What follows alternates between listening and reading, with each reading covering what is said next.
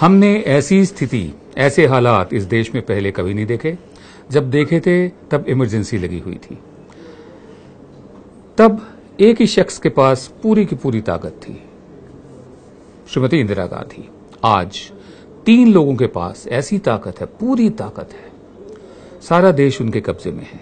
प्रधान सेवक Narendra Modi part time defence minister part time finance minister part time corporate affairs minister Arun Jaitley और भारतीय जनता party के अध्यक्ष अमित शाह। इन तीनों के पास, जैसे बोलते हैं ना अनब्राइडल्ड बेलगाम ताकत है आज के दिन।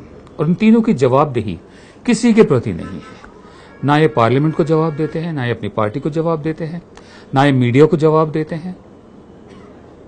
इनकी जवाबदेही कहने को जनता के प्रति है, लेकिन जो चेक्स एंड बैलेंसेस होते हैं डेमोक्रेसी में, वो बिल्कुल उनको दरकिनार कर दिया गया है। ये बात ठीक नहीं है। जब तक संस्थान हमारे मज़बूत नहीं रहेंगे, ये बात हमें डिक्टेटरशिप की तरफ़ तानाशाही की तरफ़ ले जाती है।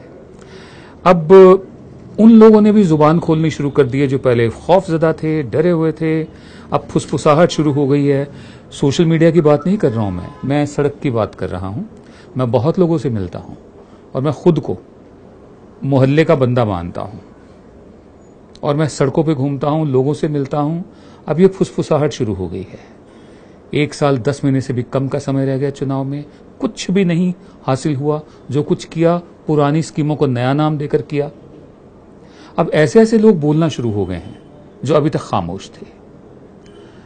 हाल ही में, हमारी जो सेना है, उसके तीनों अंगों में एयरफोर्स आर्मी और नेवी इसके 114 रिटायर्ड अफसरों ने प्रधानमंत्री को प्रधान सेवक को चिट्ठी लिखी है। इसमें इनका कहना है, हम भारतीय सेना के पूर्व सैनिकों का एक समूह है, जिन्होंने अपनी पूरी ज़िंदगी देश की रक्षा में बिताई है। एक समूह के तौर पर हम किसी राजनीतिक दल से नहीं जुड़े हैं। हम सबकी प्रतिबद्धता कमिटमेंट सिर्फ़ भारतीय संविधान के प्रति है कॉन्स्टिट्यूशन के प्रति है। ये चिट्ठी लिखना अफसोसनाक है, लेकिन हिंदुस्तान में हो रही घटनाओं ने हमें देश को बांटने वाली इन कोशिशों पर अपनी मायूसी ज़ाहिर करने पर मजबूर कर दिया। ध्यान से सुनिए। इनका मानना है। हिंदुस्तान में वो घटनाएँ हो रही हैं जो देश को बांटने की कोशिश है, इनके मुताबिक।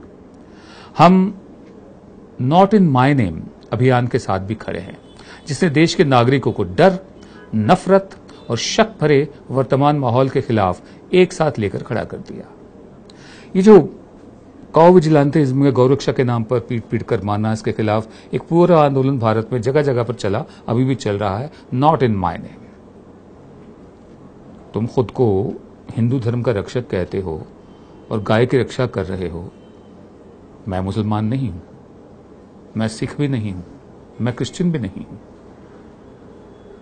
मैं प्रैक्टिसिंग हिंदू हूँ या नहीं, लेकिन मैं हिंदुओं की श्रेणी में आऊँगा।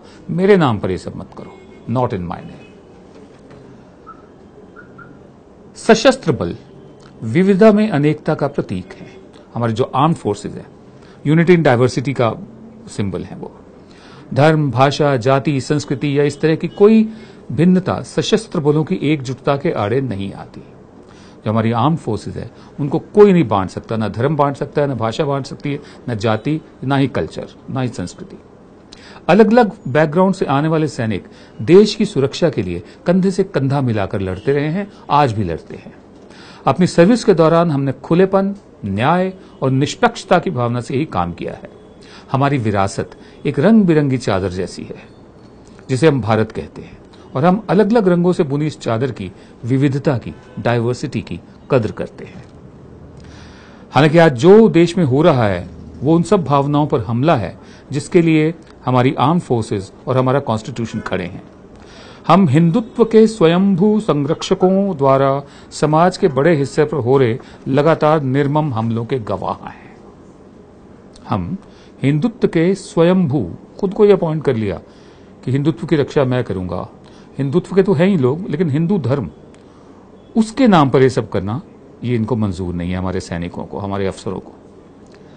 हम हिंदुत्व के स्वयंभू संरक्षकों द्वारा समाज के बड़े हिस्से पर हो रहे लगातार निर्मम हमलों के गवाह हैं। हम मुस्लिमों और दलितों को निशाना बनाए जाने की निंदा करते हैं। हम मीडिया संस्थानों की स्वतंत्रता पर हमले, नागरिक संगठनों, विश्वविद्यालयों, पत्रकारों और शिक्षाविदों को देशद्रोही करार दिए जाने के अभियान और उनके खिलाफ हुई हिंसा की निंदा करते हैं, जिन पर आपकी सरकार चुप्पी साधे रही। हम अब और चुप नहीं रह सकते। अगर अब हमने उन उदार और सेक्युलर मूल्यों के लिए आवाज़ नहीं उठाई, जिनकी बात हमारा कॉन्स्टिट्यूशन हमारा संविधान करता है तो यह देश का नुकसान होगा। हमारी विविधता ही हमारी ताकत है। असहमति देशद्रोह नहीं है। यही तो असल में लोकतंत्र का सार है। Dissent is not anti nationalism it's the essence of democracy मैं आपसे असहमत हो पाऊँ और आप मेरी बात सुने। लोकतंत्र का सार ही यही है। हम केंद्र और राज्य सरकारों से गुजारिश करते हैं कि हमारी बातों पर गौर करें और संविधान की मर्यादा बचाए रखने के लिए तत्काल कोई कदम उठाएँ।